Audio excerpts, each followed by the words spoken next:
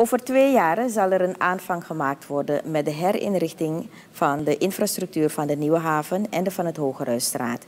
Vandaag heeft de ondertekening van het contract plaatsgevonden op het ministerie van Openbare Werken. Jerry Koornaar, vertegenwoordiger van Sunecon NV, gaf aan wat de veranderingen zullen zijn. De die gaat van 2 bij 2 rijstroken naar 2 bij 3 rijstroken. Een uitbouw van je capaciteit. De rotondes die worden ook aangepakt. Je zult straks zien uh, hoe ze dat hebben bedacht. De brug moet natuurlijk ook gaan. Je kan niet de weg maken van, van vier rijstroken naar zes rijstroken en de huidige brug laten op zijn drie rijstroken. Dus die moet geometrisch ook verbreed worden, maar ook sterk worden gemaakt dat die alles kan, kan dragen.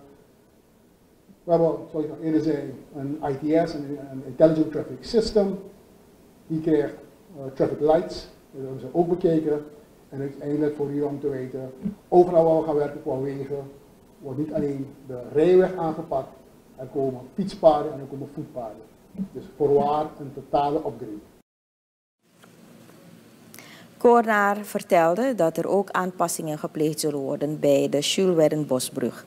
Minister Riyad Noor Mohamed van Openbare Werken heeft het volste vertrouwen in de aannemers die het project zullen uitvoeren. Wilde zeggen, het is het verkeersproject wegen, bruggen, riolering. Maar vergeet niet dat er ook een deel van de nieuwe haven in het project meegenomen zit. Ik zag een vertegenwoordiger van de NV Haven. Dus uh, ook die klachten die mensen die hebben geklaagd bij me. Ja, wanneer gaan die containers weg van de berm? Je weet, Latsmonstraat, um, Duitsburgland zelf. Dus ik dacht dat met dit project ook dat verholpen gaan worden. En dat mensen met de containers geprogrammeerd uh, hun lading binnen zullen brengen. En niet meer op de, op de berm hoeven te staan en dergelijke zaken. Dus ik heb volste vertrouwen dat dit ook geregeld wordt op een professionele manier. Um, het project is dus groot, het gaat om een deel van de nieuwe haven en, en de verkeersinfrastructuur wat dit betreft. Um, dames het ministerie van Openbare Werken wens ik jullie allemaal veel succes.